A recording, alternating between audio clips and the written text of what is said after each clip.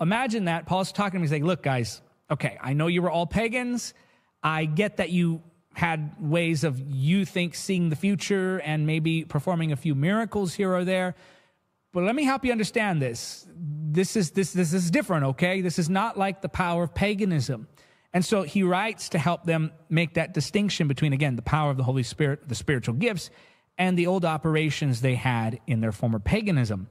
Now, about the gifts of the Spirit, brothers and sisters, I do not want you to be uninformed. You can hear his concern here. Like, I, I, I, wonder, and this is me now reading into the text. I don't know if this is necessarily true. This is my own opinion. I should say this is my own line of questioning. I wonder if Paul hesitated a little bit when the Holy Spirit instructed him to write this. Like, you sure you want me to talk to these former pagans who operated in demonic power about operating in power